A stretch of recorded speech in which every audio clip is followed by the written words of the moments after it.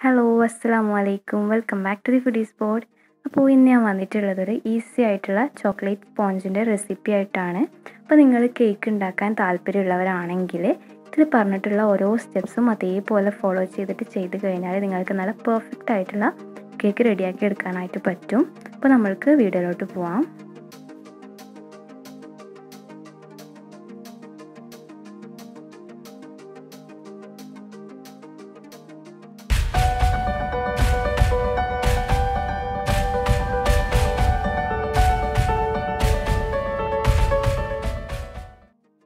അതിന് മുന്നേ ആയിട്ട് ഞാൻ എപ്പോഴും പറയുന്നത് പോലെ എന്റെ ചാനൽ ആരെങ്കിലും സബ്സ്ക്രൈബ് ചെയ്യാതെ കാണുന്നവരുണ്ടെങ്കിൽ ഒന്ന് താഴെ കാണുന്ന റെഡ് സബ്സ്ക്രൈബ് ബട്ടൺ ഒന്ന് ക്ലിക്ക് ചെയ്തിട്ട് തൊട്ടടുത്തുള്ള ബെല്ലൈക്കൺ കൂടി ഒന്ന് എനേബിൾ ചെയ്യുക. എന്നിട്ട് അതിൽ ഓൾ എന്നുള്ള ഓപ്ഷൻ ക്ലിക്ക് ചെയ്ത് കഴിഞ്ഞാൽ ഞാൻ അപ്ലോഡ് ചെയ്യുന്ന വീഡിയോസ് എല്ലാം നിങ്ങൾക്ക് നോട്ടിഫിക്കേഷനായിട്ട് കിട്ടുന്നതാണ്. അപ്പോൾ ഇനി കേക്കിലേക്ക് വേണ്ടിയിട്ടുള്ള സാധനങ്ങളെല്ലാം ഞാനിവിടെ എടുത്തു വെച്ചിട്ടുണ്ട്. അപ്പോൾ ഞാനിവിടെ എടുത്തിട്ടുള്ളത് നാല് മുട്ടയാണ്. അപ്പോൾ മുട്ട എടുക്കുമ്പോൾ എപ്പോഴും റൂം ടെമ്പറേച്ചറിലുള്ള മുട്ട എടുക്കണം. അതായത് ഫ്രിഡ്ജിൽ നിന്ന് മിനിമം ഒരു രണ്ട് മണിക്കൂർ മുമ്പെങ്കിലും മുട്ട പുറത്തെടുത്ത് വെക്കാനായിട്ട് ശ്രദ്ധിക്കുക. അതേപോലെ ഞാനിതിൽ എഗ്ഗിന്റെ വൈറ്റും യോക്കും സെപ്പറേറ്റ് ചെയ്ത് വെച്ചിട്ടുണ്ട്.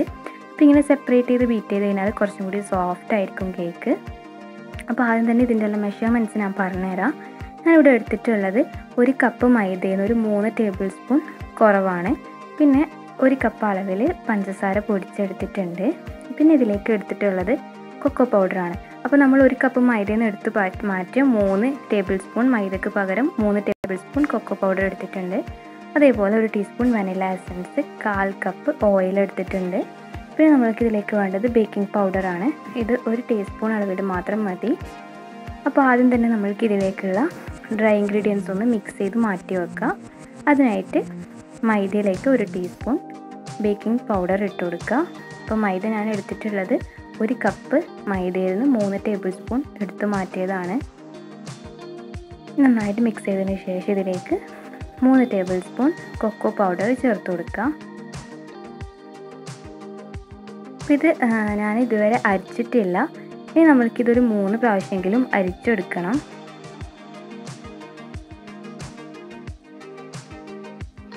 നമുക്ക് മാറ്റി വെക്കാം.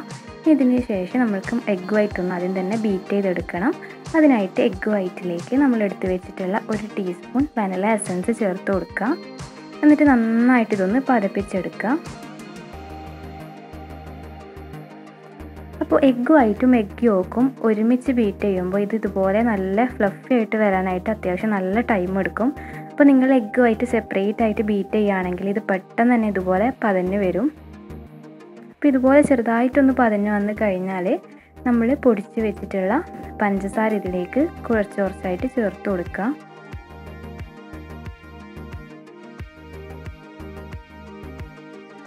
അപ്പോൾ നിങ്ങൾ ഈ പഞ്ചസാര പൊടി പൊടിക്കുന്നതിന് പകരം നിങ്ങൾക്ക് വേണമെങ്കിൽ ഐസിങ് ഷുഗർ പുറത്തുനിന്ന് വാങ്ങണമെങ്കിൽ അങ്ങനെ ചെയ്യാം. അപ്പോൾ ഇത് പഞ്ചസാര ഇട്ടതിന് ശേഷം നന്നായിട്ടൊന്ന് ബീറ്റ് ചെയ്ത് കൊടുക്കുക. അപ്പോൾ നമ്മൾ ഈ എഗ് വൈറ്റ് അത്രത്തോളം ഫ്ലഫി ആയിട്ട് വരുന്ന അത്രത്തോളം സോഫ്റ്റ് ആയിരിക്കും നമ്മളെ കേക്ക് അപ്പോൾ ഇത് അത്യാവശ്യം ടൈം എടുത്തിട്ട് നന്നായിട്ട് ഇതുപോലെ ബീറ്റ് ചെയ്തെടുക്കുക. എന്നിട്ട് ലാസ്റ്റാണ് നമ്മൾ ഇതിലേക്ക് എന്ത് ചേർത്ത് കൊടുക്കുന്നത്? ഓയിലും എഗ് യോക്കും ചേർത്ത് കൊടുക്കുന്നത്. കണ്ടോ ഇതിൽ ഇവിടെ നന്നായിട്ട് നല്ല ക്രീമായിട്ട് വന്നിട്ടുണ്ട്. ഇനി നമ്മൾ മാറ്റി വെച്ചിട്ടുള്ള എഗ് യോക്ക് ഇതിലേക്ക് മുഴുവനായിട്ട് ചേർത്ത് കൊടുക്കുക. അതേപോലെ തന്നെ കാൽ കപ്പ് ഓയിൽ മുഴുവനായിട്ട് ചേർത്ത് കൊടുക്കുക.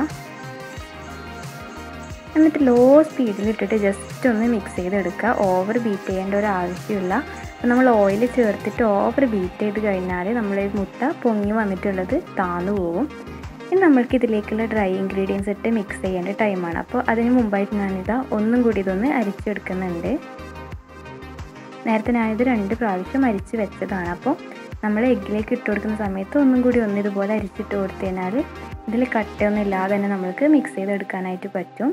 അപ്പോൾ ഇനി ഇത് മിക്സ് ചെയ്യുന്ന സമയത്ത് ഇതിൽ കേക്ക് ഉണ്ടാക്കുമ്പോൾ മെയിനായിട്ട് ശ്രദ്ധിക്കേണ്ട ഒരു സ്റ്റേജാണ് കേക്ക് മിക്സിങ് അപ്പോൾ നമ്മൾ ഓവറായിട്ട് മിക്സ് ചെയ്ത് കഴിഞ്ഞാൽ കേക്ക് മുട്ട പൊങ്ങി വന്നിട്ടുള്ളത് വല്ലാണ്ട് താന്നു പോകും. അപ്പോൾ നമ്മൾ കേക്ക് ബേക്കായിട്ട് വരുമ്പോൾ കേക്ക് ഹാർഡായി പോകാനുള്ള ചാൻസ് ഉണ്ട്. അപ്പോൾ നമ്മൾ ഡ്രൈ ഇൻഗ്രീഡിയൻസ് എല്ലാം ഇതുപോലെ കുറച്ച് കുറച്ചായിട്ട് ഇട്ടിട്ട് ഇതുപോലെ ഒരു വിസ്കോ അല്ലെങ്കിൽ സ്പാച്ചുല ആണെങ്കിൽ സ്പാച്ചുല വെച്ചിട്ട് ഇതുപോലെ ഓവർ മിക്സ് ചെയ്യാതെ ഇതുപോലെ ഒന്ന് ചെറുതായിട്ട് മിക്സ് ചെയ്ത് കൊടുക്കുക. അപ്പോൾ ഇതാ നമ്മുടെ കേക്കിന്റെ ബാറ്റർ റെഡി ആയിട്ടുണ്ട്. ഇത്രേ ഉള്ളൂ. ഇതെല്ലാം സൈഡ്സെല്ലാം ഇതുപോലെ ഒന്ന് ഇതിലേക്ക് തുടച്ചിട്ട് ഇട്ട് കൊടുക്കുക.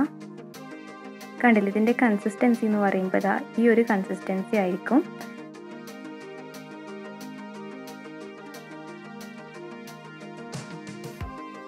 അപ്പോൾ നമ്മൾക്ക് അടുത്തതായിട്ട് ഇത് ബേക്ക് ചെയ്തെടുക്കുക അപ്പോൾ ഞാൻ പറഞ്ഞു ഞാനിത് ഓവനിലൊന്നല്ല ബേക്ക് ചെയ്യാൻ പോകുന്നത്. സ്റ്റൗ ടോപ്പിൽ വെച്ചിട്ടാണ് ബേക്ക് ചെയ്തെടുക്കാൻ പോകുന്നത്. അപ്പോൾ അതിനായിട്ട് ഞാൻ ഇവിടെ എടുത്തിട്ടുള്ളത് എട്ട് ഇഞ്ചിന്റെ ഒരു റൗണ്ട് പാനാണ് അപ്പോൾ ഇതിലേക്ക് ഞാൻ കുറച്ച് ഓയിലാക്കി കൊടുത്തിട്ട് അതിന്റെ ബോട്ടം പാർട്ടിൽ മാത്രം കുറച്ച് ഒരു ബട്ടർ പേപ്പർ വെച്ച് കൊടുത്തിട്ടുണ്ട്. അപ്പോൾ ബട്ടർ പേപ്പർ വെച്ച് കൊടുത്താൽ ഇതിന്റെ അടിഭാഗമൊന്നും കരിയാതെ നമുക്ക് കിട്ടും. ഇനി നമ്മളെ ബാറ്റർ ഇതിലേക്ക് ഒഴിച്ചു കൊടുക്കുക അപ്പോൾ ഈ ഒരു സമയത്ത് ഞാൻ സ്റ്റവ് ടോപ്പിൽ ഒരു കടായി ഒരു പത്ത് മിനിറ്റ് ചൂടാക്കാനായിട്ട് വെച്ചിട്ടുണ്ടായിരുന്നു മീഡിയം ഫ്ലെയിമിൽ വെച്ചിട്ട്. ഇനി നമ്മൾക്ക് കേക്ക് ട്രേയിലേക്ക് ഒഴിച്ചു കൊടുത്തതിന് ശേഷം ഇതുപോലെ ഒന്ന് തട്ടിക്കൊടുക്കുക. കേക്കിൽ വരുന്ന ബബ് നമ്മുടെ ബാറ്ററിലുള്ള ബബിൾസ് എല്ലാം പോയി കെട്ടാൻ വേണ്ടിയിട്ടാണ് നമ്മളങ്ങനെ ചെയ്യുന്നത്. അപ്പോൾ നമ്മൾ കടായി പത്ത് മിനിറ്റ് വെച്ച് വെച്ചുകൊണ്ട് തന്നെ നല്ല ചൂടായി വന്നിട്ടുണ്ട്. അപ്പോൾ ഇതിന്റെ അടിഭാഗത്ത് ഇതുപോലെ എന്തെങ്കിലും വെച്ചു കൊടുക്കുക. അതിന് മുകളിലേക്ക് നമ്മളെ കേക്ക് ടിന്ന് വെച്ചിട്ട് നന്നായിട്ട് കവറാവുന്ന രീതിയിൽ ഒരടപ്പ് വെച്ചിട്ട് കവർ ചെയ്ത് കൊടുക്കുക. അപ്പോൾ ഇതിൽ ആവിയൊന്നും പുറത്തേക്ക് പോവാത്ത രീതിയിൽ വേണം കവർ ചെയ്ത് കൊടുക്കാനായിട്ട്. അപ്പോൾ ഇതിന്റെ ബേക്കിംഗ് ടൈം എന്ന് പറയുന്നത് thirty five to forty five minutes ആണ്. അപ്പോൾ നമ്മൾ മുപ്പത് മുപ്പത്തഞ്ച് മിനിറ്റ് ആവാതെ ഇത് തുറന്ന് നോക്കാനേ പാടില്ല. തുറന്ന് നോക്കിക്കഴിഞ്ഞാൽ കേക്ക് ബേക്കായിട്ട് വരുമ്പോൾ വല്ലാണ്ട് ഉള്ളിലോട്ടായിട്ട് പോവും. പിന്നെ നമ്മൾ കേക്ക് നല്ല സോഫ്റ്റായിട്ട് വന്നിട്ടുണ്ട്. നന്നായിട്ട് ബേക്കായിട്ട് കിട്ടിയിട്ടുണ്ട്. അപ്പോൾ ഈ പറഞ്ഞ എല്ലാ സ്റ്റെപ്പും നിങ്ങൾ കറക്റ്റ് അതേപോലെ ഫോളോ ചെയ്ത് കഴിഞ്ഞാൽ ഇതേപോലെ നല്ല പെർഫെക്റ്റ് ആയിട്ടുള്ള കേക്ക് റെഡിയാക്കി എടുക്കാനായിട്ട് പറ്റുന്നതാണ്. അപ്പോൾ നിങ്ങൾ കേക്ക് ഉണ്ടാക്കാൻ താല്പര്യമുള്ളവരാണെങ്കിൽ എന്തായാലും ഒന്ന് ട്രൈ ചെയ്ത് നോക്കുക. അപ്പോൾ നെക്സ്റ്റ് വീഡിയോ എന്ന് പറയുന്നത് ഈ കേക്ക് ഞാൻ ഐസിങ് ചെയ്യുന്ന വീഡിയോ ആണ് കാണിക്കുന്നത്. അപ്പോൾ നെക്സ്റ്റ് വീഡിയോ ആയിട്ട് വരുന്നത് വരെ എല്ലാവർക്കും ബൈ